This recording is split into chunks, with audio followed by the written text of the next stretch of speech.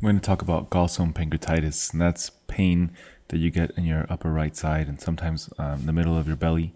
So I'm going to start off by drawing the, the belly, and there's a gallbladder that I'm drawing. The gallbladder is located within the liver, and that's the big green triangle. And the gallbladder is connected with a bunch of ducts. And here I'm drawing the pancreas. And so the gallbladder connects, the, the gallbladder has a duct that connects to the pancreas duct.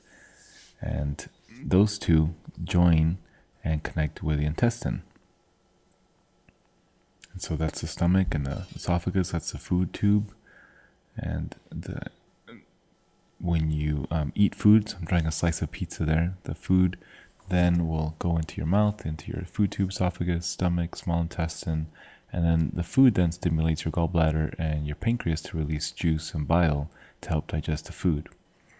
So then let's see what happens when you get gallstones. Gallstones are formed in the gallbladder and sometimes they get stuck in the ducts and that leads to dilation. That's what I'm drawing there. That dilation then will, will then lead to inflammation uh, because everything's blocked up, um, and you get inflammation in your liver too. And you can also get inflammation in your pancreas, and that's called pancreatitis. So next time you eat, then um, if you have you're gonna get another slice of pizza, for example.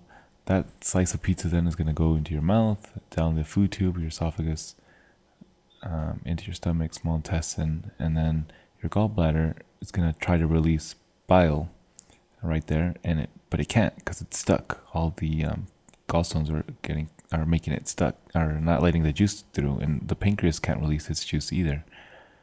So what we need is some help, and the help's going to come from a surgeon. So the surgeon, I'm um, drawing the surgeon right here.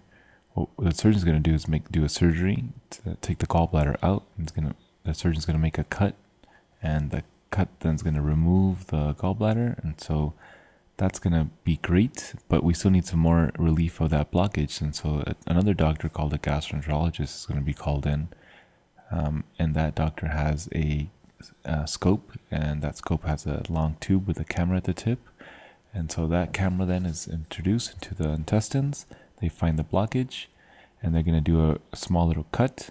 That cut then is going to then allow the doctor to do a Roto-Rooter kind of mechanism to relieve the pressure. So all those stones are going to be able to come out.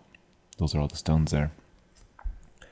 So because now there's relief of the pressure, that then leads to a decrease in inflammation. And when there's decreased inflammation, you're going to feel a lot better. So now you have normal size ducts, the pancreas is no, no longer uh, inflamed, the liver is not inflamed anymore, and the doctors go away, and now you can eat without having any pain. And that's gallstone pancreatitis.